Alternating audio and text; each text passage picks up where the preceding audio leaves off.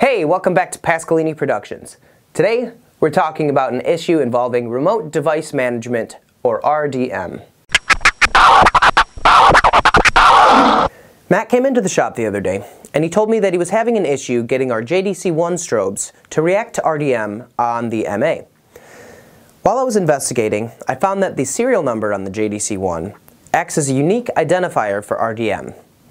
Within the service menu, there's a serial number option that must match the serial number on the bottom of the fixture. Without this matching setting, the MA will not identify the JDC1.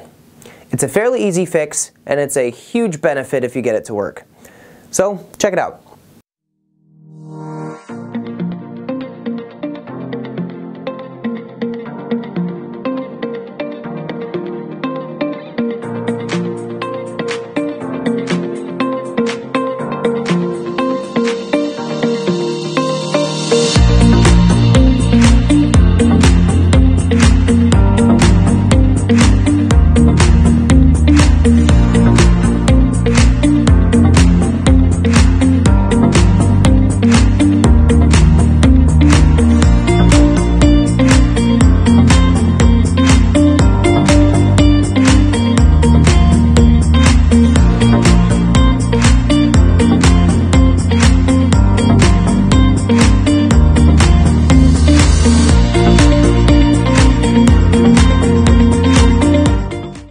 Thanks for watching. If you've got any questions, leave them in the comments. Be sure to subscribe.